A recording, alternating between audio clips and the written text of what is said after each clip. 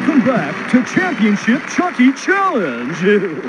Team Make Believe, you've advanced into our final round and the chance to take home our grand prize. Uh, are you ready to play? Yeah, we do. We're here. All right. Uh, Munch, as team representative, this final question goes to you.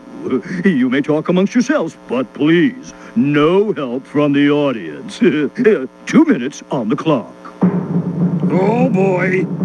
Mr. Munch, here is your question for our grand prize. A year's worth of Chuck E. Cheese pizza, a year-long unlimited play pass, and one medium drink, good with purchase. What is Chuck E. Cheese's middle name? Oh, it seems like I should know this. What do you think, Munch? Hmm. The question put before us is regarding Chucky's middle name. The answer will determine if we win or lose this little game. If we can list a list of words beginning with the letter E, I bet between the four of us we'll come up with it cleverly. I bet between the four of us we'll come up with it cleverly. Uh, let's see here. What could it be? Perhaps it's education for the things he's always teaching us. Or maybe it's empathic for the way he's always reaching us.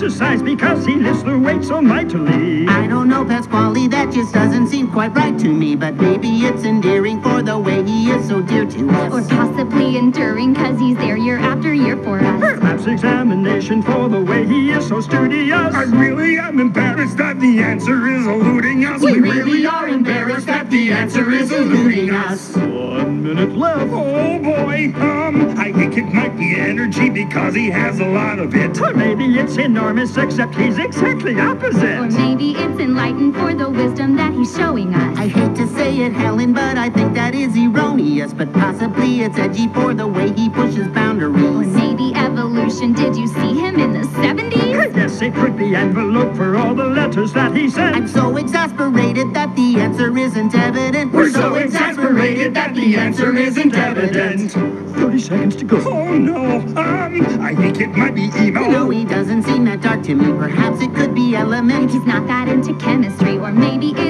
engineer. I've never seen him on a train, but maybe it is epic. Oh no, please let's not do that again. Guess it could be emu or electric or emotion. Or maybe it is elephant or eggplant or Or explosion. maybe it's emoji like the text he sent me yesterday. We're running out of time, so I'm just going to take a guess and say We're almost out of time, so he's just going to take a guess and say, esophagus. Really, Munch? Chuck esophagus cheese? Uh, Is that not it? No. My middle name is Entertainment. Entertainment? Well, yeah. My middle name is Entertainment for the way I dance and sing. My middle name is Entertainment for the fun I always bring. It's entertainment for the great activities we get to do. But mostly it's my middle name because I love entertaining you. But mostly it's my middle name because I love entertaining you. Wait, that cannot be your middle name. Yeah, we get it, Chuck. You're very entertaining. Personally, I kind of liked emo Chuck. Yeah, and he looked cute in his little engineer hat. No, guys. My middle name really is Entertainment. Next, you're gonna tell me your first name is really Charles. Actually, Chuck is short for Charles. Oh, Charles, I feel like I don't even know you. It can't be Charles, right? It's not Charles. That's that's crazy.